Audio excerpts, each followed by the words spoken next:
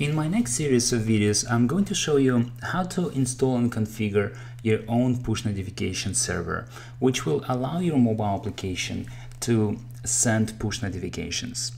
And the advantage of having your own push notification server is that you'll have full control of the server, of its business logic, and the uh, and of the content of the push messages.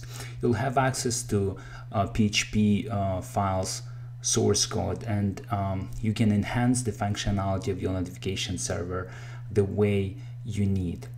And uh, you will have access to push a messages content like the, the time the message was sent and whether it was successfully delivered or not. And um, but this might also mean that you will need to be at least intermediate software developer for you to be able to enhance the uh, features of your notification server and um, but I'll show you how to install and configure notification server. I'll show you uh, the core uh, of it, how to create push messages, how to send push messages, and how to make your mobile application to receive and display push messages. And once you have this knowledge, you should be able to continue and implement other features. So um, let's look at the Easy APNs uh, open source project and this is the project that I'm going to use uh, for these videos. Easy APNs is quite um, old project. If we look here, it, it is said that the project moved to GitHub on December 4th, 2010. So it was quite a while on the market and it works very well. So um, uh, if you browse through this website, you will see that it has um, the source files of a PHP application. It has the uh, source files of MySQL tables.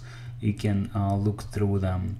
And um, here we have a PHP uh, files and there are not many files, there are only four files and we will actually use um, three of them and uh, there is an Apple app um, delegate file uh, which is in Objective-C. I'll show you how to do it in uh, Swift of course. And uh, there is also a cron job that you can configure to um, deliver push notifications in a timely manner, uh, like uh, to have to have them um, to have a schedule task that will fetch push messages.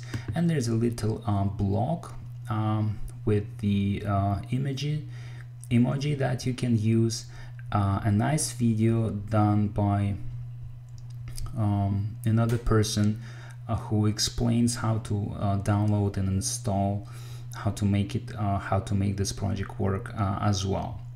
So um, this is it. Very small but interesting project. It does work very well and I'm going to use it for this videos. To download source code you can click on this green download button. It will take you to github and from github you can either get the the URL uh, which you can use to import the project or you can download entire zip file. So I'll click on download zip file and it will download. I'll drag it to my desktop for example and have a look at it. So when you download the project it will have doc files um, the PHP the license which you can uh, read through and the source files. In the source files we're interested in SQL so these are the uh, source files we will use to create our database the PHP files we will use to um, create push messages and send push messages. And uh, we are not going to use this delegate um, M file because it's an Objective-C and we will do our application in Swift. And cron job uh, which you can use uh, use um, uh, to schedule timely delivery of uh, push messages. So um, this is it and uh, let's begin and integrate this project uh, into our server.